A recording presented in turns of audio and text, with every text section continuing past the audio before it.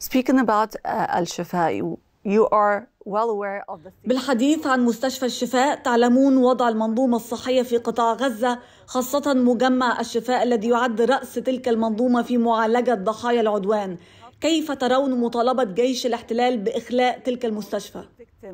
of this aggression.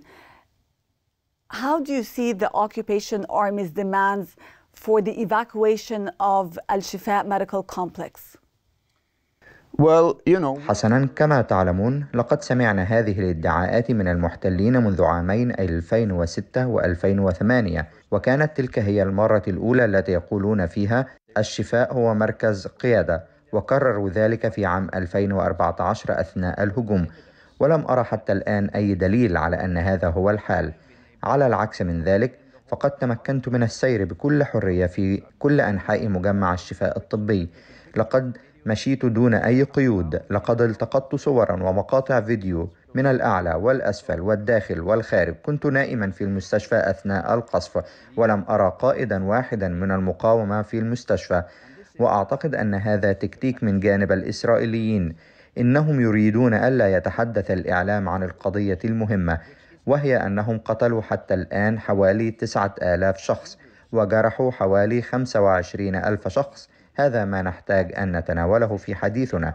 هذا ما يجب أن تدور حوله كافة اللقاءات والمحادثات.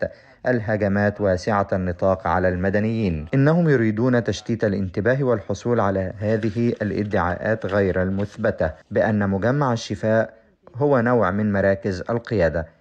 ولكن خلال الأيام القليلة الماضية لم يكونوا بحاجة لذلك لقصف المستشفيات. لقد قصفوا مستشفى الصداقة التركي بشكل مكثف ومستشفى السرطان في غزة وقصفوا أيضا مستشفى الحالو الذي كان الآن جناحا للولادة لأن مستشفى الشفاء اضطرت إلى إخلاء جناح الولادة لنقل جميع السيدات إلى هذا المستشفى الصغير ثم قصف بعد ذلك. ولم يزعم أن أي من هذه المواقع هو مركز قيادة لذا فإن هذا مجرد إلهاء. لأنهم يريدون إبعاد الضوء عن الشيء الأكثر أهمية وهو القصف المستمر للأهداف المدنية في غزة لقد كانوا يقتلون طفلا واحدا كل عشرة دقائق لمدة ثلاثة أسابيع الآن وسيمرون قريبا ويقتربون على حافة عدد إجمالي أربعة آلاف طفل فلسطيني يقتل في هذا الصراع هل هذا للدفاع عن بلدك وقتل الأطفال؟ هل هذا ما يبدو عليه الدفاع عن بلدك؟ هل هذا أحد أشكال الدفاع؟ مهاجمة المستشفيات والمدارس والمساجد والكنائس؟ لا، هذا عدوان هذا عدوان الاستعمار إنهم يريدون الاستيلاء على أرض غزة وفلسطين لتوسعة رقعة إسرائيل والسيطرة الاستعمارية لذا كطبيب أعتقد دائما أنه من المهم عدم علاج الأعراض بل علاج السبب الجذري للمشكلة والسبب الجذري للمشكلة في غزة الآن هو احتلال فلسطين احتلال غزة Speaking about uh, the catastrophic situation of بالحديث عن الأوضاع الكارثية التي لحقت بالمؤسسات الطبية في قطاع غزة كالمستشفى التركي التي ذكرتها وغيرها الكثير. إذا تحدثنا عن مجزرة مستشفى المعمداني كيف كان شعوركم كطبيب أولا وكمواطن لدولة غربية ثانيا في ظل الدعم الواسع في أغلب الدول الغربية لما يسمونه حق إسرائيل في الدفاع عن نفسها؟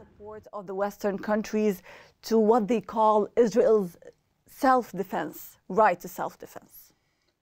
uh, well, Linda, uh, حسنا يا ليندا لقد كان الأمر مؤلما جدا عندما علمت بتفجير مستشفى الأهلي. أنا أعلم هذه المستشفى تماما. عملت خلال الانتفاضة في مستشفى الأهلي عندما كان الإسرائيليون لا يزالون في غزة. كانت هذه نقطة مقاومة رئيسية وقاموا بمعالجة المدنيين الذين أصيبوا خلال الانتفاضة. أنا أعرف مدير المستشفى وأعرف العاملين وطاقم المستشفى إنها مستشفى جميلة وكان لدي شعور بالندم والغضب عندما علمت بالأمر وأنا لا أهتم بهذه الصواريخ لأنه لو لم يكن هناك احتلال ولو لم يكن هناك حصار على غزة ولو لم يكن هناك قمع مستمر وفصل عنصري ضد الشعب الفلسطيني لما كان هناك أي صواريخ على الإطلاق وهذا أحد أعراض مشكلة أكبر بكثير ألا وهي الاحتلال. لذلك شعرت بالحزن الشديد كما تعلمون مستشفى الأهلي مستشفى قديم يديره المعمدانيون طاقم عمل ممتاز وشعرت بالخجل من كوني أوروبي. شعرت بالخجل من دعم أوروبا للعدوان في فلسطين.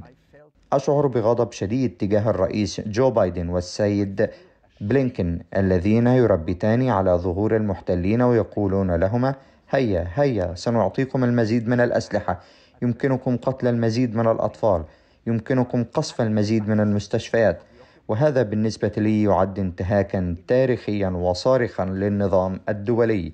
إنه انتهاك تاريخي لاتفاقية جنيف. وبالنسبة لنا جميعا كبشر فهو هجوم على البشرية وعلى قيمة حياة الإنسان.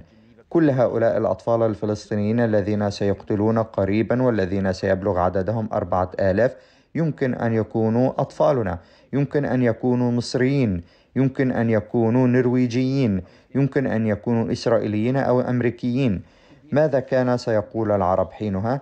لذا بالنسبة لي إنه وقت مخجل